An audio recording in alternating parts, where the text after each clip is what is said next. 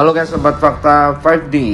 Ketemu lagi dengan 5D yang terus mengabarkan fakta viral seputar selebritas tanah air yang terus saja bikin berita dan dengan berita mereka tetap eksis di ranah media. Kali ini ada kabar luar biasa di Twitter yaitu trendingnya asal bukan Prabowo.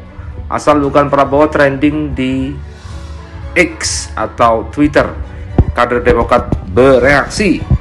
Asal bukan Prabowo trending di Twitter Asal bukan Prabowo ini sudah disebut oleh warga X sebanyak 7053 post. Jika masuk dalam kata asal bukan Prabowo ini langsung disebutkan dengan kata asal bukan Prabowo. Politisi Demokrat pun langsung bereaksi. Kader Demokrat Ardi Wirda Mulia. Menurut gue, nggak usah bilang asal bukan Prabowo. Bilang aja saya pilih Anies atau pilih Ganjar. Susah. Takut nggak ditemenin sama pendukung 01 atau 03 Kalau ngeliatin warna Lemah. Balas salak Dapil 5 DKI Jakarta Di Twitter. Netizen pun ikut bereaksi.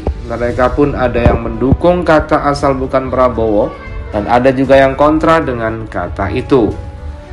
Asal bukan Prabowo Sebuah misi anak bangsa yang ingin negara ini dikelola dengan benar. Asal bukan Prabowo itu mengakhiri rezim Jokowi. Tak ada tiga periode. Asal bukan Prabowo itu mencegah ada dinasti Indonesia terbebas dari tertawaan dunia. Asal bukan Prabowo berarti tak ada Gibran, kata yang lain asal bukan Prabowo. Begitu narasi kegalauan pihak-pihak yang sadar diri nggak bisa menang secara fair, terutama soal program-program yang ditawarkan Prabowo Gibran. Skenario pun dibentuk jika salah satu dari satu atau tiga kalah, maka harus bersatu menghadapi Prabowo. Terbukti orang-orang itu hanya membela ego nafsunya, bukan tujuan lebih baik untuk bangsa ini. Ada teman nanya, Bang, nanti pilpres gue pokoknya asal bukan Prabowo, gimana? Gue bebas-bebas aja sih, namanya juga pemilu. Yang penting kita wajib melanjutkan perjuangan Jokowi dan ada di barisan tim Jokowi ya. Siapa bang? Googling aja ntar ketemu kok. Asal bukan Prabowo.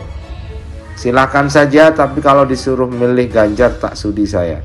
Tak akan pernah saya dan keluarga saya pilih yang namanya Ganjar dan PDIP Begitu kata yang lain guys. Kemudian Kita kutip dari Alinea ID. Bagaimana dampak dari bisingnya di Twitter tentang tagar asal bukan Prabowo. Fenomena ini pernah muncul pada Pilkada DKI Jakarta. Kala itu menyasar Basuki Cahayapurnama dengan gerakan asal bukan Ahok. Gerakan asal bukan Prabowo atau asal bukan 02 yang merujuk pada pasangan Prabowo Subianto Gibran Raka Buming Raka menggema di Twitter. Berdasarkan pantauan Alinea ID, seruan kali ini pertama mengemuka pada Rabu 27 Desember dan menjadi topik populer pada Kamis 28 Desember. Asalkan bukan Prabowo, silahkan retweet yang setuju. Kata akun Su Chen Marching penulis novel mati bertahun lalu. Asal bukan Prabowo. Cuitan itu pun dikomentari Ardi Wirda Mulia, politikus Partai Demokrat yang merupakan salah satu pendukung Prabowo Gibran seperti yang sudah kita bacakan tadi. Jika ditinjau lebih jauh, tagar akan bukan asal bukan Prabowo ini pernah dimunculkan pada 16 Desember silam namun diolah dalam bentuk jajak pendapat.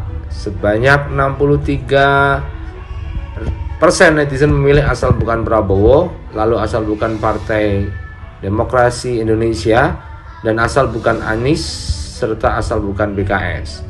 Untuk diketahui berdasarkan laporan VR sosial pada Oktober 2023, ada 27,5 juta pengguna Twitter di Indonesia. Ini merupakan tertinggi keempat di dunia setelah Amerika, Jepang, dan India. Sementara itu, hasil survei indikator politik Indonesia periode 2003-2004 Desember 2023 mengakui peran media sosial sebagai sumber informasi sosial, politik, dan pemerintahan bagi masyarakat. Namun porsi Twitter hanya 6,7%, terendah dibandingkan Facebook, TikTok, YouTube, Instagram, dan WhatsApp. Riset itu melibatkan seribu responden. Apa yang dilakukan oleh Budiman dan aktivis 98 telah meracuni generasi sekarang. Karena mengaburkan kejahatan HAM, menganggap penculikan bukan sebuah kejahatan HAM. Sehingga pemerintah ke depan apabila melakukan penculikan ya sesuatu yang normal dan itu merupakan tugas dari aparatus negara.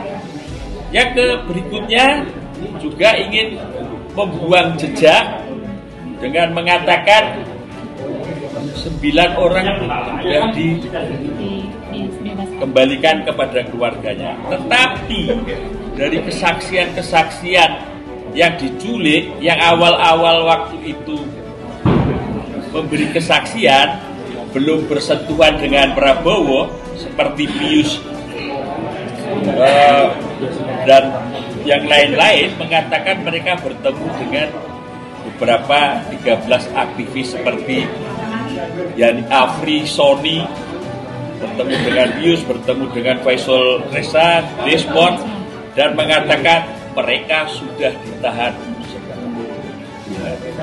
Sebuah tindak kejahatan yang begitu sadis menahan orang 10 bulan di penjara dan akhirnya tidak kembali. Sudah begitu lama disekat akhirnya juga tidak kembali. Jadi Prabowo sudah melakukan operasi penculikan cukup